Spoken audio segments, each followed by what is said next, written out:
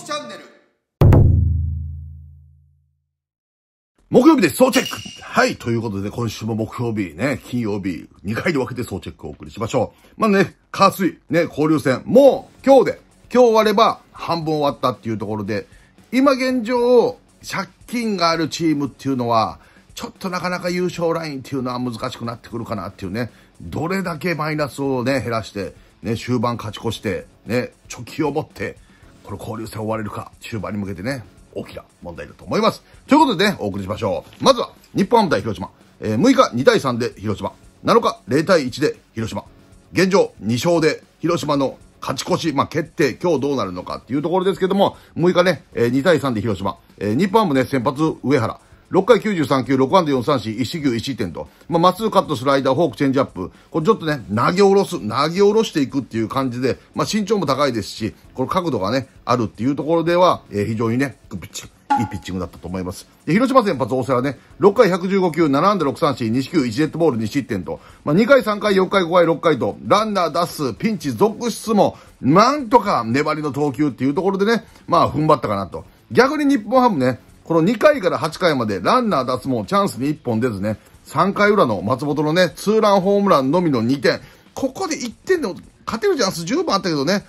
だから日本ハムで言うとね、えー2回、えーワンアウトから、マルティネスデッドボール、野村ね、えーフォアボールっていうところで、そこ前にね、あのーマルティネスをね、えー盗塁アウトっていうところもあるけども、まあランナー出てもね、チャンス生かせず。で、3回にはね、松本のツーランホームランっていうところで、えー2点先制するもね、で、4回裏、ワンアウトからね、えー伏見野村が、えー連続ヒットでワンアウト一三塁取るも、ね、福田のセーフティースクイズ失敗っていうね、えー、ところではちょっとこれ、ここしっかり決めたかったね。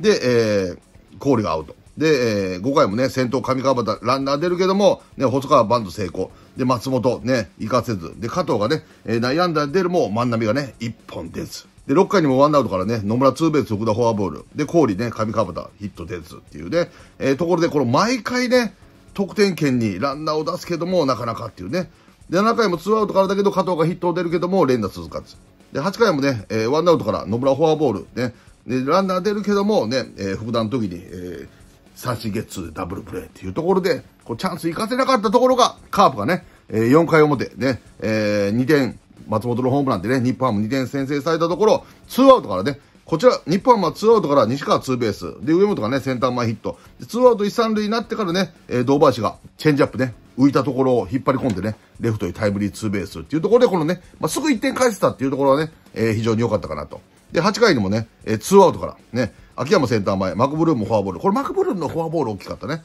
で、えー、西川が、えーレフトに同点タイムリーヒットっていうところで、まあこれね、えー、急遽めっちゃ粘ってね、ファールってファールってめちゃくちゃ粘って、レフトへね、タイムリーっていうところ。でね、マクブルームに代わってファーストね、ランナーダイソー。まあ、スリーボールツーストライクっていうところでね、えー自動的に走ったっていうのもあるけども、レフト前ヒットで三塁落とし入れた、それの走塁。グッ走塁。ね。で、そして、秋山がね、詰まりながらね、レフト線ポトッと落ちるね、勝ち越しのタイムリーヒットっていうところで、逆転でね、えー、このままゲームセットっていうところで、まあ、あの、広島はね、栗林が7回に投げてね、プロ初勝利。初勝利なんだね。そこが意外。ね。まあ、ベンチの答えにね、えーどこまでね、答えれるかっていうところと、栗林、島内ね、矢崎っていうところで、ね、5三振っていうね、もうこの島内ターリーっていうところもね、リリーフで非常にヤクルトね、踏ん張ってるなっていうね、えーところはあります。まあ、カープで言えばね、2回表ね、このマクブルームレフト前、西川フォアボールで、ノーアウト1塁のチャンスの時にね、上本、ね、バントファールでね、成功せずっていうところで、で、結果ね、あの、最後打ちに行って三振っていうね、えーところでは、ここでバントが決まって1点取ってればね、もうちょっと楽な展開になってたんじゃないのかっていうね。で、カープは5回以降ノーチャンスの中でね、8回ワンチャンスものにしたっていうところで、まあ、日本ハムね、えー、池田、ね、で、玉井、河野とね、頑張ったけどもね、ちょっと宮内が、宮西がね、粘りきれずっていうところでね、敗戦です。えー続いて、えー、6月7日、えー0対1で広島っていうところで、まあ、両投手ね、非常にグッピッチっていうところで、まあね、広島先発作り、7回101球、2安打7三振、2四球1デッドボール無失点と、まあね、この横のね、ツーシームスライダーっていう横の幅の広がりっていうのはあるけども、チェンジアップ、フォークっていう縦もね、非常に勝負球としては低めに有効に効いて、ね、グッピッチ、ね、縦と横っていうね、もう、四次元殺法です、みたいな。で、えー、日本ハム先発加藤ね、えー、8回122球3安打2、2三振、えー、1四球1失点と、まあね、両コースね、左バッターへのインコースは通信向け、えー、右バッターのインコースはストレートドンっていうね、めちゃくちゃ精度も良くて、ね、切れ味も良い、ね、グッピッチ。敗戦投手になってしまったけどね、まあこれはね、5回ね、ワンアウトから坂倉がね、レフトスタンドへホームラン。まあこの1点だけで勝ったっていうね、ところで逃げ切りがちっていうね、えー、中で、まあね、お互い日本ハム4安打、広島も3安打しか打ってないっていう中でね、まあ日本ハムはこの3回裏ね、えー、伏見レッドボールで、英語がレフト前ヒットをね、バントで遅れないで最後バスターしたらヒットみたいなね。で、ノーアウト1、2からこうハンソンね、バント失敗、キャッチャーゴロね、2、5タッチアウトっていうところで、これ決めなかったね。で、その後ワンアウト1塁からね、あの、加藤が、えー、センター前ね、えー、ヒットなるんだけども、まあ、セカンドランナー、エゴシがね、ホーム帰れずっていうところでね、まあ、あの、引きの絵だったからね、そこまで詳しくね、テレビじゃ見えなかったけども、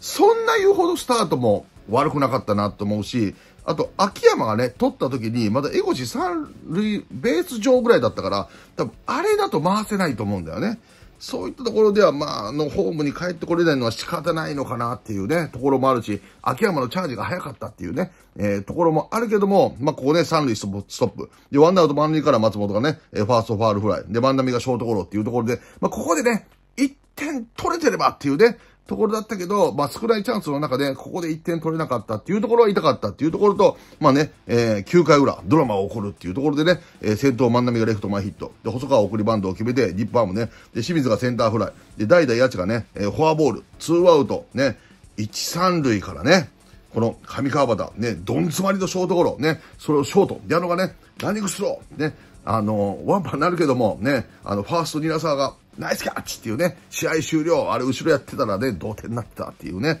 えー、中では非常に矢野、ニラサー、グッ、ね、お互い素晴らしいプレーだと思います。あとね、バッター上川端ね、最後ヘッドスライディングするけど、わかんないよ。わかんないけども、あの、遅くなってない。この、ズズズっていうので、あれ、そのまま走り込んでててもアウトだったかもわかんないけども、ヘッドスライディングが遅くなってるような気がする。ズズズっつって。あれもうそのままね、気持ちはわかるけど、そのまま走り込んだ方が絶対早かったんちゃうのかなって思ったけどね。まあそれにしても矢野ニラさんはね、グップレイ。ね。まあ結果ね、現在2連勝中っていうところで、まあ今日どうなるのかっていう戦いになってます。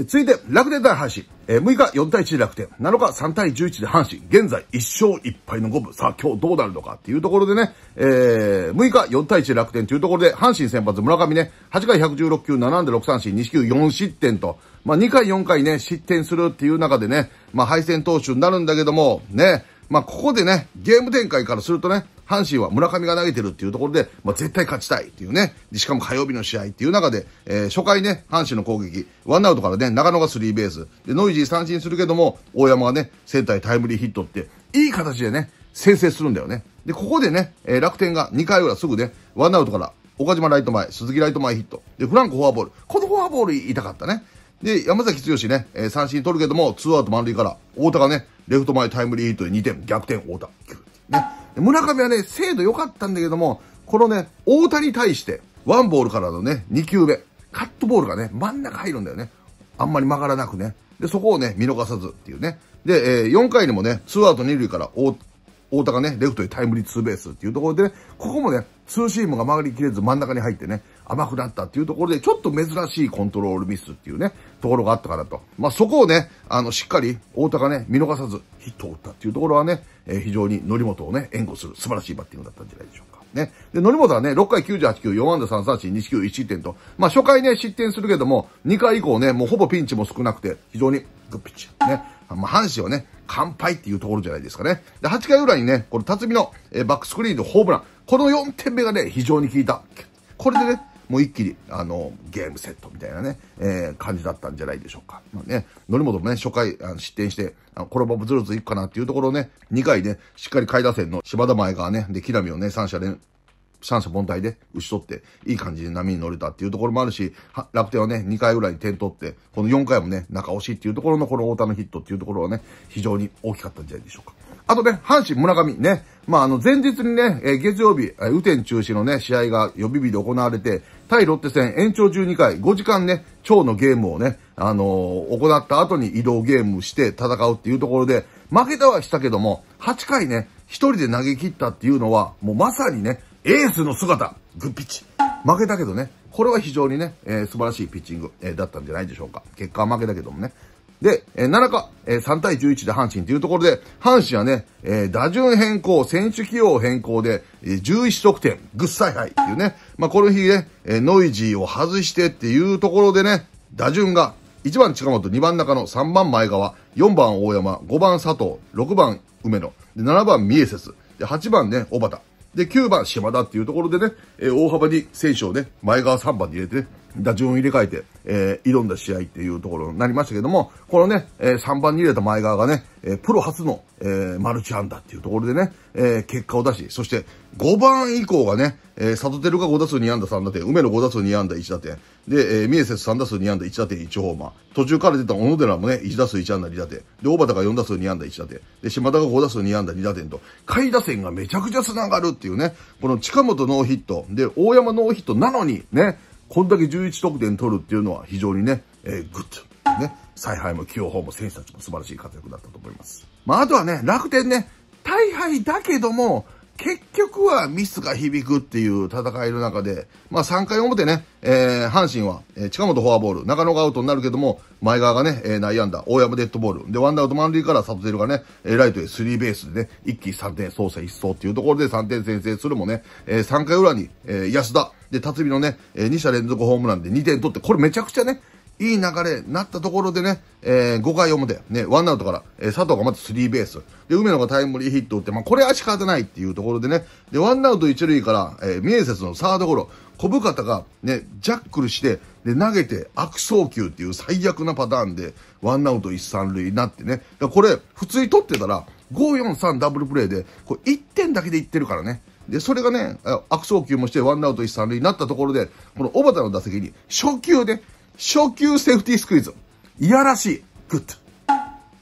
この相手がミスして、あーってちょっと気落ちしてバタバタしてるところで、初級セーフティースクイズだからね、これ2球目と3球じゃなくて、これ初級するのが意味あるよね。そういったところではね、岡田采配、グッタキ、小畑がまた、めちゃくちゃうまかった。ちょっとね、三塁ランナー梅のスタート遅かったよ。あんな素晴らしいバンドでホームギリギリだったからね。でもこれね、この1点目っていうのは非常に大きかったし、楽天としてはそのミスでね、その5対2になったっていうところはね、ちょっとこの失点は大きかったかなと。で、えー、7回表ね、えー、2アウトからミエセスのホームランっていうところで、この1点がね、まあ一番効いてね、ほぼ試合決まったかなっていう中でね、8回裏ね、えー、岡島の、えー、タイムリーヒットでね、えー、1点返すっていうね、えー、ところもあったけどもね、それでここね、えー、ワンアウト三塁から岡島がね、えー、レフト前、タイムリーでね、1点追加して、レフトのね、小寺、小野寺がね、若干ジャックルしてね、ポロンとしたところ、ファーストランナー、浅村がね、セカンド回って三塁まで行ったんだけども、その後のね、小野寺のね、えー、処理も早くてね、えー、そっから三塁投げてタッチアウトっていうところでね、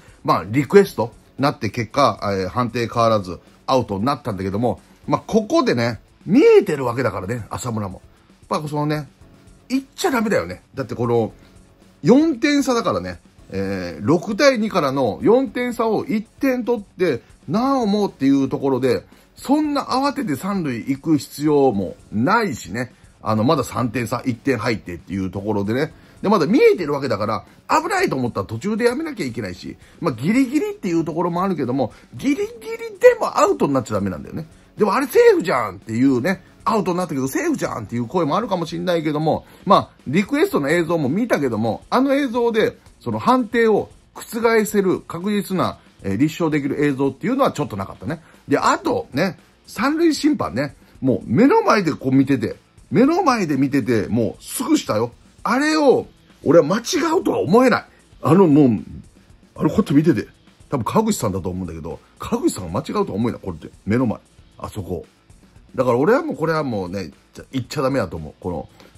100%セーフにならないと言っちゃダメだと思う。これもね、結局、で、その後、あの、フランコがね、レフトフライでスリーアウトになって、まあ、1点止まりっていうところもあるし、この5回もね、ワンアウト一塁から、梅野がレフト前ね、レフト線ヒットを打って、あの、ファーストランナーの大山はね、三塁に向けていくんだけども、梅野がね、それについてセカンドまで、えー、行くけども、レフトがね、そのままセカンドに投げて、あの、浅村が取って、梅野がね、一、二塁間に挟まれるんだけども、で、浅村がね、ファーストへ投げた。時にはもうセカンドベース誰もいないからね、それで自分で避けたら、ね、そのまま梅野がセカンド行って、で、結局そっからね、まあタイムリーが連なって5点取られてるからね、あれアウトにして、ツーアウト三塁だったら、まあ、じゃあどうなってたかって言った時に、ひょっとしたらね、0点で抑えてて、3点差、ワンチャン勝負っていうところにね、いけた中で、あのプレーもね、まあ、あのプレー、セカンドに誰もいないのは仕方ないんだよ。だってあの、レフトはね、三塁へ繋げるために、レフトから三塁への、あの、中継に入るからね。で、セカンドは、だから、で、あれ以上浅村は追っかけれない。あれ以上追っかけたら、梅野がファーストを抜いちゃ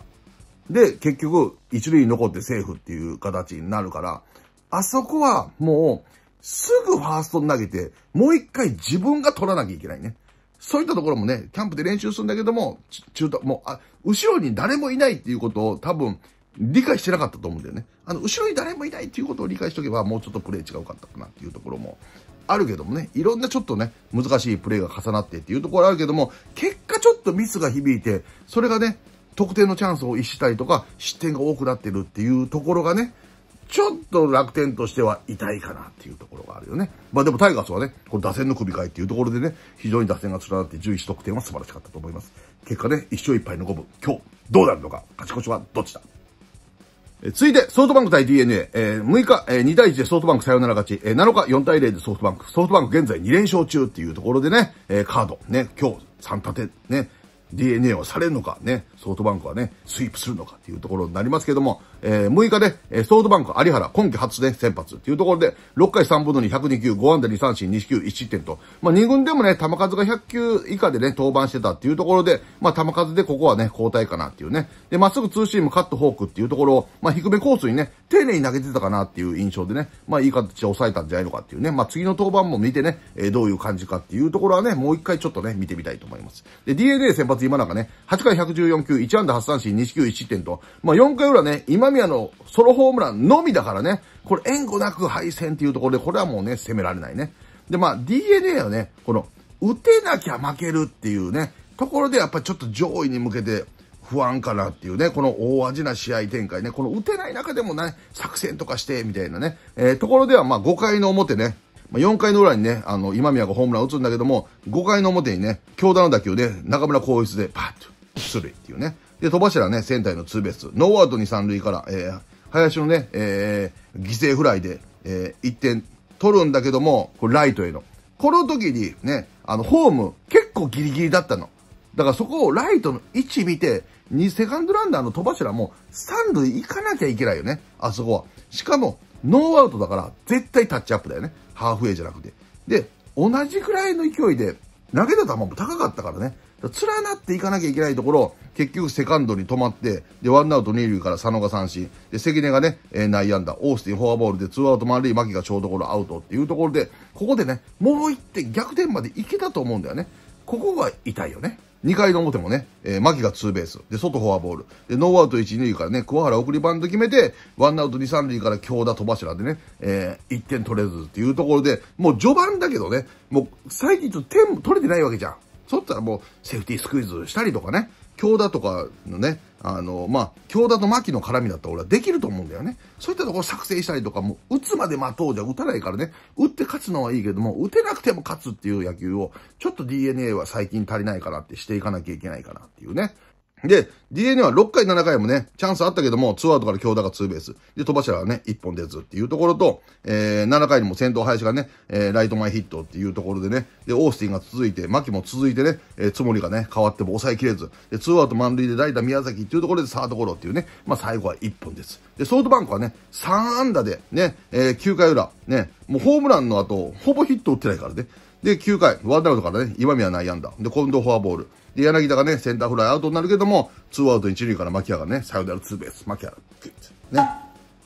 粘り勝ちっていうね。で、ここはね、あのー、ソフトバンク、津森松本萌出のね、えー、粘り切ったかなと。松本萌出のはもう6者連続三振だからね、グッピッチね。津森はちょっとね、だからあそこを DNA ね、あ叩きたかったなっていうところでね、まあやっぱりこのね、戸柱の三塁いかずとかね、セーフティースクイズしてもよかったんちゃうかっていう、まあ結果論だけどもね、えー、まあでも戸柱のいかないのは結果論じゃないけどね、っていうところはあります。7日ね、4対0で、えー、ソフトバンクっていうところで、えー、ソフトバンク先発東山ね、7回99球、2安打7三振、3四球無失点と、非常にね、低め、コースにしっかりね、丁寧に投げてたからっていうね。で、そうなってくるとね、東山のね、多彩な変化球とかね、緩急をつけてっていうところでは良さが出るかなっていうね。で、DNA 先発したね、5回3分の1、92球、8安打4三振、1四球3四って、でも自責1っていうところで、ちょっと攻守にわたって援護なしっていうね、ちょっと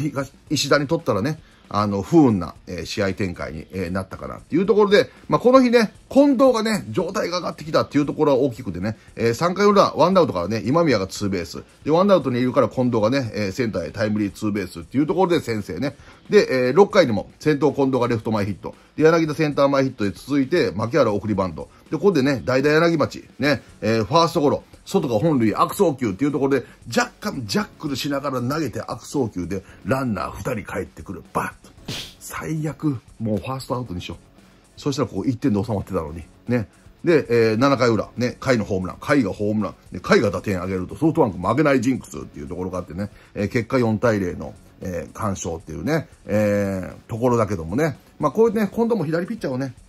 反対方向、反対方向を打っていくとね、またこの状態も上がってくるっていうところと、まあいいね、えー、状態がいい証拠かなっていうね。で、石田はね、いいピッチング粘ってなかってね、えー、いいピッチングした中でね、あの、ちょっと味方にね、え、エラーも続いて、まあ、DNA としてはね、まあ5安打っていうところで、まあソフトバンクにね、えー、先制、えー、中押しっていうところでいい感じで点取られて、ちょっと打つ手らしかなっていうね、えー、中では現在ね、ソフトバンク2連勝中っていうね、まあ今日どうなるのか、ね、DNA もうちょっと作成したり、え、泥臭く1点取りに行くっていう作戦もあってもいいかもっていうところはあります。え続いて、オリックス対巨人。6日2対1でオリックス。7日0対10で巨人。1勝1敗の5分。今日どうなるのか。っていうね。6日2対1でオリックスっていうところで、オリックス先発山本。8回96球、4安打6三振、無四球1失点と。まあ、めちゃくちゃ状態が良かったっていうわけじゃないと思うけども、まあ、前半戦、前半はね、カーブ。で、後半戦はね、フォークっていうところで、まあ、配球の変化もあってね、若月のリードも非常に良かったんじゃないのかなと思います。で、巨人先発高橋ね。まあ、前回ね、あのー平内から高橋っていうね、巨人戦で、えリリーフで投げて非常に良かったんで、今日先発っていうところではね、2回3分の1、56球、4安打1三振、2四球、1デッドボール2失点と。まあ、なんか惜しいんだよね。この全体的にもう全部ダメやっていうところじゃないなんか惜しいのよ。いいところもあんのよ。両コースね、あの、右左に関わらずインコースね、ストレートで、シュート通信向け、非常に良かったし、まあ、唯一でもチェンジアップが全くダメなのよ。まあ、前回もそうだけど。で、結局、ストレート通信向け、そしてスライダー頼りになってきて、幅も狭まって、で、同じような緩急使えずってなって甘めに行ったところを通打されるから、このね、チェンジアップ修正できれば、もうちょっといい感じになってくるのよ。惜しいのよ。頭ごなしダメやっていうところは俺はないと思うんだけどね。もうちょっと惜しい。ね。で、2番手がね、菊池。ね、このピンチで迎えて、ね、あの、ここで一気にね、テントライター終わりやっていうところでね、えー、ワンアウト2、3塁から、えー、トング、えー、ショートフライでゴンザレス三振っていうね、ピンチをしのいだっていうね、ところもあるけども、3回3分の2、45球、ノーヒット、えー、5三振、無四球無失点。次回先発やろ、これは。クピチ。ね、めちゃくちゃ良かったよ。ず、全試合、ね、全投球、菊池のね、あの、2軍とかも含めて見たわけじゃないからあれだけど、一番良かったんじゃん。プロ入ってきて。っていうぐらい、めっちゃ素晴らしいピッチングだった。で、オリックスはね、あの、この3回裏に下位打線ね、若杉がレフト前ヒット。で、広岡アウトになるけども、茶野のフォアボール。だから高橋はこのフォアボール言いたかったね。で、中がレフト前ヒット。ワンアウト満塁になって森がね、えー、真ん中に入ってきたところをセンターオーバーのね、ツーベース。これ2点取ったっていうところで、まあ、下位打線から始まって中軸が打ったっていうところではね、流れは非常に良かったかなと。で、ジャイアンツもね、4回表に先頭坂本がレフト前ヒット。で、秋広岡本とね、ボンダーするけども、ツーアウト2塁から中田がね、初球のインコース。めちゃくちゃいい球よ、あれ。シュート。あれを、こっちの回転でね、詰まりながらもレフト前っていうところで、非常にね、クッパッティングね、えー、っていうところはね、あったけども、まあね、その後はね、えー、山本が抑えたっていうところはあるけども、ジャイアンツは7回ね、先頭中田がね、えー、センター前ヒット。で、ここで大、総吉川ね。で、大川に代わって代打重信。で、ここで送りバントを決めて、なんとかね、大城がいい感じで打ってたからね、そのチャンスで一本行こうっていうところで、重信ね、えー、バント、キャッチャー、ファールフライ、バッと。ね。で、その後、大城ね、代打梶谷が繋げず、えー、無得点に終わって、まあ、先頭ね、フォアボールのチャンスを生かしきれなかったっていうところでね、まあ、痛い。ね。で、えー、7回裏、ね、このオリックスもね、先頭杉本がフォアボール。で、ダイソー小田が出てね、えー、野口ね、えー、バントで送れず、ツーストライク追い込まれてね、で、そこからば、謎のバスターなんだよね。俺いつも思うんだよね。何回も言ってると思うけど、あの、どうせ打つんだったら、バスターいらんやん。そんな練習してんのバスターの。全選手。よく大、よくあるけどね。バント、ファール、ファールとかして、ツーストライクになったらそのまま、あの、バスターで打ちに行くってよく見るけど、そんなバスター練習してる。それだったら普通に打った方がヒットの確率良くない？守備ももうそうなったらバントするとか思ってないよ。で、結局、ライトフライで、あの、進塁もできずっていうね、えー、ところもあるけども、無駄なバスターいらんやろ。そんな練習してないやろ。昔の細川じゃないんやから。っていう、俺は個人的な思いですけども、ミンタさんどうですか？ね。まあ結果ね、山本がしっかり投げ切ったっていうところでね、2対1でオリックスを勝利。ね。で、7日0対10で巨人っていうところで、まあこの日戸郷がね、え、投げてるんで、巨人は負けられないっていうところでね、戸郷はね、えー、7回138球、6安打5三振、4四球無失点と、まあ、フォアボール4つ出すけどもね、まあ、しっかり粘り切った、ちょっと球数がね、えー、多くなりすぎたかなっていうところはあるけども、まあ、この試合ね、最後はね、大差でっていうところはあるけども、結局ね、球際、守備でね、明暗っていうところでね、えー、巨人はね、えー、初回、ツーアウトからね、秋広レフト前ヒット。で、岡本のね、センター前ヒット、センター広岡ね、大ファンブルっていうね、取りに行って、取りーみたいな。で、ファーストランナーね、えー、秋広がホームに帰ってくるっていう、バこれほんと無失点でいけてたよ。で、1点。で、えー、4回にもね、岡本がね、サードへ悩んだだけども、逆進撃るゴンザレスがね、若干ファンブルして、これも球際っていうね。で、その後中田が、え、ヒット。で、大川のね、レフトにタイムリーヒットっていうところでね、えー、1点っていう。で、その後ね、えー、大城ダブルプレイ、ブリンソンアウトでね、ソタにもめっちゃ頑張ってたよの。オリックスね。4回3分の2、65球、7安打3三振、1四球2失点と。このね、1回4回の若干のね、ミスっていうところのね、失点につながってるからね、えー、これ0点でひょっとしたらいけてたんちゃうかっていうところの球際だよね。で、それがよ、えー、ジャイアンツは、えー、守備ね、えー、オリックスの攻撃4回裏、ワンアウトからね、杉本ツーベース、ゴンザレスアウトになるけども、広岡がフォアボール。で、ツーアウト一塁から野口ね、左中間めっちゃいいやっていう、ライナー。岡本が飛びついてね、ライナー取ったかと思ったら取れずにこぼしたけども、すぐ拾い上げてファーストへね、アウトっていうところで、あれ抜けてたら1点入ってたかもわかんないからね。そういったところの球際よ。結局ね、岡本、グップレー、ナイスプレー。ね。で、オリックスはね、この2点、で、えジャイアンツはね、で、6回表、ウォーカーのバックスリーホームラン。ウォーカーこの試合5打数5安打。サイクル未遂っていうところもあるけども、ね、打ちまくってっていうね。で、えー、オリックスはね、えー、6回裏、先頭トングールツーベース。これを生かしきれずね、1点取れなかった。で、7回にもね、えー、茶の、えー、中川のヒットでチャンス作るもね、えー、4番森、ツーアウト1塁。まあ、昨日は打ったけどもね、えー、この日はちょっと1本出ずっていうところで、まあ、得点できずね。で、結局、えー、8回、ウォーカータイムリー、大城がね、スリーランホームラン。ね。で、9回も、えフォアボールからね、吉川のタイムリーっていうところで、結果ね、あの、10対0っていうね、大差になったけども、ね、もう外にはね、いい投球見せたけど不運っていうね、えー、ところもあって、ちょっとその球際っていうところがね、大きかったかなっていうね。で、巨人はね、戸郷、ね、あの、今日の試合ね、縦振り。しっかり縦振りになって、非常にね、制球も安定して、対左のね、あの、ピンチの時のね、ゴンザレスのインハイのストレートとかめちゃくちゃいい球だったしね、えー、ここね、シュート回転もね、少なく、このね、若干スライダーね、あの、この前上原さんも言ってたけど、戸郷はね、スライダーをね、多投することによって横振りになってるから、若干抜けたりするからっていうね、ところ言ってたけども、この日はね、縦振りでめちゃくちゃ良かったから、これがね、やっぱり戸郷で一番いいフォームなのかなっていうところはね、えー、感じた投球になりましたけどもね、まあ結果ね、0対10、1勝1敗、今日ね、どうなるのかっていう戦いですね。え続いて、西武対中日、6日1対2で中日、7日2対1で西武サヨナラ勝ち。っていうところで1勝1敗の5分。ね、僅差の戦いを続けてる。今日どうなるのかっていうね、中で、えー、6日ね、1対2で中日。っていうところで、中日先発鈴木ね、5回3分の2、89球、5安打、えー、三振0、1四球、無失点と、まあ、4年ぶり先発初勝利。ガッツ。ね。えー、ツーシームカットスライダー、えー、カーブというところで、まあ、この日ね、もうほぼツーシーム、ストレート多分ないと思うんだよね。で、ツーシーム35球、えー、カット38球っていうね、で、8割強の割合で、もうツーシームカットで横の揺さぶりっていうところで、まあ、三振ゼロっていうところも頷けるしね。で、それで打たせて取るっていうところでね、自分自身のピッチングができたっていうところね、グッグピッチ。ね。だって89球の中で、73球がカットとスライダーだからね。で、その他にね、スライダーカーブっていう大きなね、変化も投げるっていうところだけども、このね、ボールを動かしながらね、えー、打ち取っていく。で、で、フォアボール1個っていうところで、ね、ストライクゾーンの中でしっかり勝負できたっていうところですよね。で、西武先発用だね、7回95球、7安打6三振、無四球2失点と、まあ、無四球でね、で、緩急つけて非常にグッピッチと、ね、ストライク先行で腕も振れてね、しっかり勝負できたっていうところが、まあ、自身のね、この緩急っていうところが生きるピッチングになったかなと。ね。で、中日はね、えー、5回の表、ね、先頭木下がね、セーフティーバント、ね。これなんか1打席目ね、終わった時にもうアンダースロー無理や。これ、絶対打たれへんわ、っていうね、えー、言ってたらしいんだよね、ベンチで。で、そこでね、セーフティーバント見事に決まって、で、リュークが送りバント。で、ワンアウト2塁から大島アウトになるけども、ね、岡林、細川が、えー、連続タイムリーっていうところで、まあ、2点先制ね。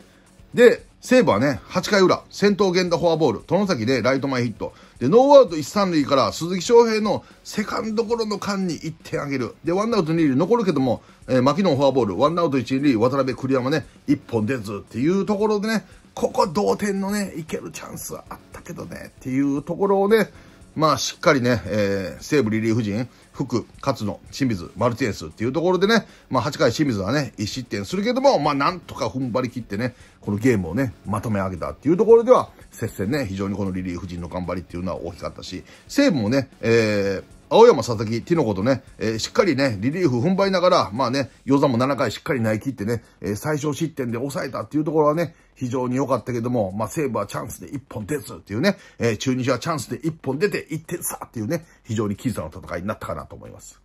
で、続いて7日の試合もね、僅差で1本っていうところでね、えー、まあ、中日はね、えー、3回4回、西武は3回4回5回、両チームね、序盤チャンス生かせずっていうところでね、えー、中日は、えー、3回で、えー、先頭ね、リュウグがライト前ヒット。で、大島細川フォアボールで2アウト満塁になるけども、最近不調の石川がサードゴロでアウトっていうね。で、えー、4回でも先頭高橋がレフト前ヒットっていうね。で、えー、ビシエド三振。で、この間に高橋周平盗塁決めて、木下がね、ライト前ヒット。ワンアウト一三塁からリュークが463ダブルプレーっていうところで、ワンアウト一三塁、スリーボール、ノーストライク、打ちに行く姿勢はめちゃくちゃいいけども、アウトコースの球を引っ掛けて、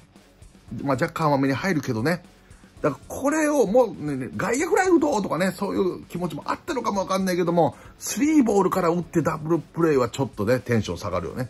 で、西武もね、3回、ワンアウトからね、えー、小川の打球、高橋周平ね、トンネル、バット。ね。で、若林、えー、ライト前ヒット。ワンアウトにチャンス作るけども、源田智崎ね、この1、2番、一番今ね、信用度高いところが、えー、ヒットを打てず。4回もね、えー、牧野がツーベース打つけども、渡辺栗山1本です。っていうね。で、5回も先頭川越フォアボール、源田もフォアボールでチャンス作るけども、友崎1本出ずっていう、なかなかね、1本出ない中、まあね、えー、西武先発ね、えー、ホンダ。4回75球、4安打4三振、2四球無失点と、非常にね、あの、ストレートをしっかり投げて、低めの変化球が非常に効いてたなっていうところでは、グッピッチ。ね。で、その後ね、森脇、青山、平井ね、えー、佐藤、増田とね、非常にリリーフも踏ん張って、まあ、増田最後1点取られるけども、このリリーフのね、踏ん張りもかなり大きかったかなと。ね。で、えー、中日先発ね、涌井。8回117球、5安打2三振、2四球1失点。もうこれはね、攻められない。ね。無援護っていうね。ところでは非常にね、えー、厳しい戦いになったかなと。で、西武はね、えー、7回裏、先頭で川越レフト前ヒット。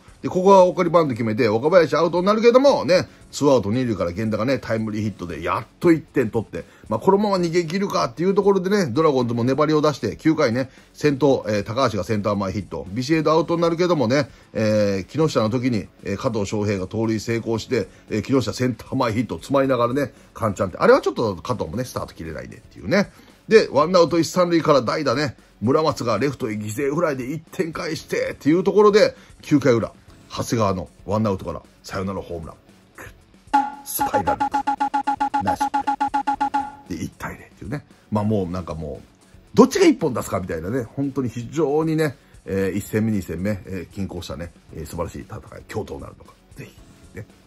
え続いて、ロッテ対ヤクルト。6日3対10でヤクルト。7日6対0でロッテっていうところで現状1勝1敗の五分。今日どうなるのかっていうね。えー、ところでは、6日ね、3対10でヤクルト。ここまでのね、ロッテの戦い、まあ、ロッテがね、ここ5連敗中ってね、5連敗することになったんだけども、エラーはね、リーグ1位、ね、一番少なく、吉球もダントツで少なくリーグ1位っていう中でね、ミスなく戦って相手のミスをつくロッテ野球がここまでの好調の中でね、この試合は4回ね、ヤクルト先制するんだけども、えー、山田青木がね、連続フォアボール。川端のセカンドゴロね、えー、セカンド、えー、中村がファンブルで、ここダブルプレー取れずっていうところで、ここダブルプレー取ったらこの回0点だったのに、その後ワンアウトしたないからね、村上のセカンドゴロ、ダブルプレー崩れでね、1点取られて、サンタナのツーベースで2点献上っていうね、フォアボールを出して、ミスを、まあ、エラーなってないけどね、ミスで失点してしまうっていうね、えー、非常に、あの、ロッテとしたら、今までできてない、できてたことができないね、嫌な流れ。ね。でもその後ね、えー、ロッテは、えー、4回裏ね、すぐさまポランコのホームランで1点、えー、取って、6回裏もね、中村が犠牲フライを打って、で、その後もね、フォアボールを積み重ねて、安田が犠牲フライっていうところでね、これをタイムリー打たなくてもロッテが点取るっていうね、えー、この6回表、6回ね、先頭池田がスリーベース、藤岡フォアボール、で、ノーアウト一三塁から中村が犠牲フライ、で、ポランコセンター前ヒットでノーアウト、ワンアウト一三塁作って、山口フォアボール、で、安田が、えー、犠牲フライ、タイムリーゼロだからね、でもこれでも勝ち越して3対2になるわけ、いい感じじゃん。ね、これがロッテ野球っていうところで、だから7回表ね、えー、ワンアウトから中村フォアボールっていうね、レフターでツーベース、オスナがね、で、ワンアウト2、3塁から内山がで、えー、ツーストライクからアウトコースのね、ストレート高めに入ってきたところ、ライトオーバーっていうところでね、一気に2点取って逆転するんだけども、ここもね、えー、ロッテ先発三馬、ね、えー、8回3分の1、100球、4安打6三振、4四球4失点と、結局このね、フォアボールっていうところが失点に絡んでいくっていうところとね、この内山のところもね、ツーストライクから高めに行くっていうところでもったいないよね。で、これで逆転っていうところで踏ん張れつっていうね。で、ここね、内山ね、まあ、あの、クッション良かったよ、ライト。確かに。でも、あんだけ高く上がってんのに、多分最初から犠牲フライと思ってちゃんと走ってないやろっていう。あれ、セカンドまで絶対いけないやろって、俺は心の中で思ってます。で、まあ、その後はね、7、8、9とね、あの、8回も、えー、サンタナのホームラン、ツーランね。で、9回も山田のね、えー、犠牲フライ。で、川端タイムリー。で、並木のタイムリーっていうところで、結果ね、10対3っていうね、ところで、えー、ロッテとしては大敗になってくるけども、やっぱそういうね、フォアボール、ね、エラーになってないけどミスっていうところはね、ここまでできたことができないところがね、えー、ロッテの敗戦かなと。ヤクルトはね、もう連打連打でね、打線が繋がっていい形になったんじゃないでしょうか。ね。で、えー、7日6対0でね、ロッテっていうところで、もうこの試合はね、もうメルセデスが完璧っていうね、えー、中では、えー、メルセデスね、えー、7回100球、2安打4三振、2四球無失点と、まあ、本当にね、えストライク先行で勝負できて、制球も抜群だったし、インコースとストレートね。で、あのー、ちょっとカット気味に入るからね。っていう。で、左バッターへのインコースのね、通信向けっていうね。で、スライダーでっていうところも非常にもう全てがパーフェクトっていうね。で、ヤクルト先発ね、高橋奎二、久しぶり、1ヶ月ぶりのね、えー、1軍での先発になりましたけど、4回3分の2ね、83球、5安打5三振、3四球3失点と、まあね、もう力で肩開いて横振りになって制球乱すっていうね、もうちょっと縦振りで、だから縦振りでいかないと、そうこうなるからね、こうなる。縦振りでいって、途中いいとこあったんだけどね。で、変化球がね、チェンジアップが唯一制球できるかなっていうところで、まあ、ストライク投げるのに精一杯になって、全部体が緩んでね、そこを仕留められるってなってるから、もうちょっと初心に帰って、甘くてもいいんだから、もう、ど真ん中でもいいんだから、もっと強い球投げてファール打たして、そこから緩急で負けとけば絶対痛いでしょ。四隅なんか狙うなっていう、コースなんて狙わなくていいんだって。甘くてもいいから低めやっていうね。そんなことしてるからボール先行したりね。最後、あの、ストライク取らなきゃって置きに行ってね、自分の良さが出ないっていうね。もうちょっと縦振りで甘くてもいいから低く。これです。はい。で、その中ね、えロッテは2回ぐらいね、え山口レフト前、ポランコフォアボール。で、チャタリムが送りバンドを決めて、安田フォアボールでワンアウト満塁から田村の犠牲フライで行って、これね、チェンジアップで田村打ち損じ。わかるよ、気持ちっていうね。でもここでもね、えー、きっちり、先頭で山口がヒット打っただけで、フォアボールと犠牲フライで、ノーヒットでもね、あの、チャンスでね、タイムリー打たなくても1点取る。これがロッテ野球っていうね。で、えー、5回裏も先頭安田がフォアボール。ね。で、あの、田村がね、送りバンド、キャッチャーファールフライ、アウト、バッと。ね。で、でもその代わりね、岡がそこからツーベース。で、池田がね、初球のカーブね、レフトへタイムリーっていうところで、まあ、ここもね、ワンアウトに三塁になって、内野が前進守備してるからね、セカンドランナー岡が、ショートの後ろぐらいまでね、リードを取ったことによって、レフトフラ、レフト前ヒットでもホームに帰れたっていうね、この岡のリードと走塁、非常にね、グッと。ね。で、えー、7回にね、山口が、えー、スリーラン、ホームランっていうね、初球アウトコースストレートをフルスイングして、2球目インコース結構いいところボールになったけど、微動だにしない。ね、解説してたけども、これ外目付けですね。ってね。で、外に来たスライダーをね、引っ張り込んで、ホームランっていうところでは山口のね、狙い通りの対応欲っていうね、えー、狙い通り待ちっていうところがね、非常に良かったんじゃないのかなと。で、ロッテとしてはね、えー、2回に先制、5回に中落ちね、で、7回ダメ押しっていうところで、6対0完璧な勝利っていうところと、えー、ロッテはね、メルセデス、西村、横山とね、えー、完璧なリリーフで、えー、被安打3だからね、そういったところでは、まあ、しっかりね、えー、試合をね、えー、攻守ともに、えー、素晴らしい試合展開だったのかなと。ヤクルトは3度だからね、ちょっと打つ手なしっていうね、えー、ところだったと思います。結果ね、1勝1敗の五分、今日どうなるのか。ていうね、えー、ところになりましたけども、ということでね、全試合お伝えしましたけども、今日ね、えー、交流戦半分になりますけどもね、どういう試合展開になっていくのかっていうのは楽しみですね。ということで、ね、えー、木曜日の総チェック終わりです。明日も総チェック出しますので、ぜひ見てください。合わせてみると3連戦になります。ということで、今日も一日楽しんでいきましょう